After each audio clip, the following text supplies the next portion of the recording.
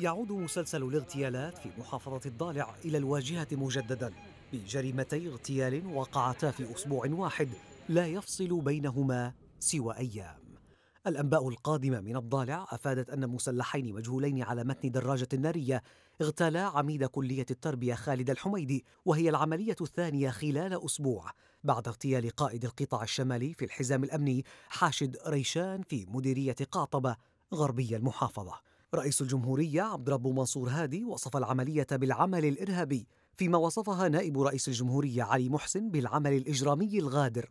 ووجه رئيس الوزراء معين عبد الملك في اتصال هاتفي مع المحافظ الأجهزة الأمنية بملاحقة العناصر الإرهابية التي أقدمت على ارتكاب هذه الجريمة ومن يقف وراءها. المركز الأمريكي للعدالة عبر عن قلقه إزاء استمرار الاغتيالات التي تستهدف الكوادر السياسية والدينية والإعلامية والأكاديمية في المحافظات الجنوبية ودعا في بيان له الأجهزة الأمنية التابعة للمجلس الانتقالي المسيطر على الأرض إلى سرعة تقديم المتهمين في ارتكاب المئات من جرائم الاغتيالات إلى العدالة.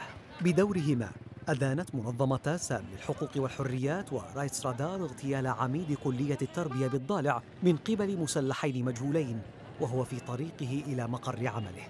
حزب الإصلاح في المحافظة أدان هو الآخر الحادثة ودعا في بيان له السلطات المحلية والأمنية بالمحافظة للقيام بمسؤوليتها في القبض على الجناة وتقديمهم للعدالة. الإصلاح طالب في وقت سابق بتشكيل لجنة تحقيق من الحكومة والتحالف لكشف ملابسات ملف الاغتيالات لا سيما التابعين للحزب الذين اغتيلوا في عمليات متفرقة.